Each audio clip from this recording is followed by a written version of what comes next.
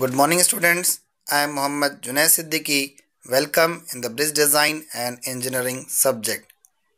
This is the lecture 3 of design of post tension pre-stress concrete I girder slab bridge deck.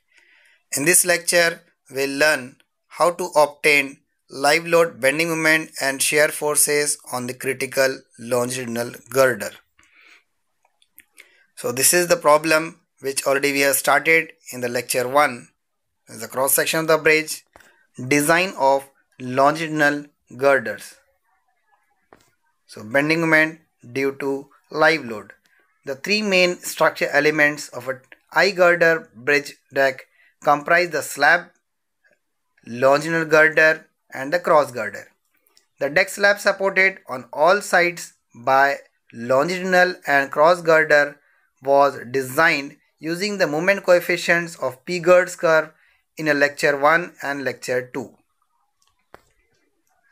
So as per IRC 21 305.12 page number 48 will determine here the bending moment due to live load. The design of longitudinal beams involves the evaluation of the live load distribution among the number of beams used in the deck with three or more girders. The load distribution is estimated using following methods. Courbon's method, Guyon-Massonnet method, Hendry-Jaeger method. By using any of the three methods, the maximum reaction factors are determined for the intermediate and end longitudinal girders and these are used for the computation of bending moments and shear forces. Among these methods, the Courbon's method is the simplest and is applicable when the some conditions are satisfied. Out of them, first the ratio of span to width of deck is greater than 2 but less than 4. The longitudinal girders are interconnected by at least 5 symmetrical spaced cross girders. The cross girder extends to a depth of at least 0.75 times the depth of longitudinal girders. So Courbon's method is popular due to the simplicity of computations when the live loads are positioned nearer to the curb. So as per IRC 6 for IRC class A, a vehicle, the minimum distance from curb to the outer face of the wheel is 1.2 meter. Center of gravity of the bridge is 3.75 meter from the curb and center of the vehicle so from the center of the vehicle to the center line of the bridge, the eccentricity is 1.1 meter. So reaction factor is calculated from the following equation as per Courbon's theory. So Rx is equal to summation W divided by N into 1 plus summation I into dx into E divided by dx square into I whereas Rx is reaction factor for the girder under consideration. I is the moment of inertia of each longitudinal girder. dx is the distance of the girder under consideration from the central axis of the bridge. W is equal to total concentrated live load. N is equal to number of longitudinal girders. E is equal to eccentricity of live load with respect to the axis of the bridges. Now reaction factor for the outer girder A.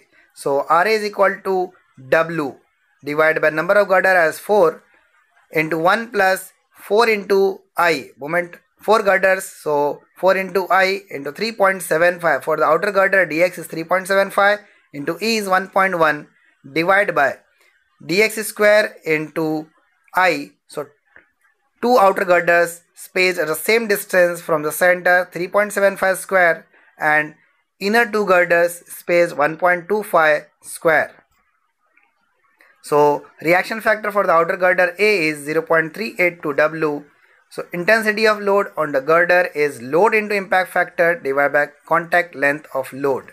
So as per IRC 6 page number 30 the impact factor for the 30 meter span is 0.1. Therefore intensity of load on girder A is equal to 0.382 into 700 which is the load into 1.1 impact factor divided by contact length of the load is 3.6 so we'll get it 81.71 kilonewton per meter so this This we obtained for the outer girder. Now for the inner girder. So reaction factor for the inner girder B and C as here the changes will be only dx value. So the dx value for this girder B is 1.25. So we'll get it 0.294 W.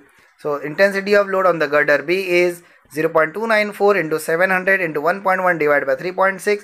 So we'll get it 62.88 kilonewton meter. Whereas maximum load is on girder A which is 81.71 kilonewton meter. So to get the maximum live load moment we'll place this vehicle exactly midway of the span 30 meter so we'll get the maximum moment value so which is 2073.8 kilonewton meter so live load bending moment is 2073.8 kilonewton meter next is the live load shear force so we'll place the vehicle in such a way that the any one of the track must be rest over the girder B or C. So we'll place it over the C near the support. So the weight of the one track is 350 kilonewton. The length contact length is 3.6 meter and the center to center distance between two track length is 2.05 meter. So in the center to center distance between two longitudinal girders are 2.5 meter. So here we'll get it rest of the length as 0.45 meter. Here we'll take the cross section of the girders and we'll place the track over the girder and one track will be exactly over the girders either C or B. So here we'll place at C. So we'll get the reaction at B as 287 kilonewton and reaction at C as 413 kilonewton. So here the critical girder is the inner girder C. Already we have placed the vehicle close to the support to get the maximum shear. So here the load is 413 kilonewton. So we'll divide it with the length contact length as 3.6 meter. So we'll get the intensity as 114.72 kilonewton per meter and we'll get the maximum reaction as 388.21 kilonewton.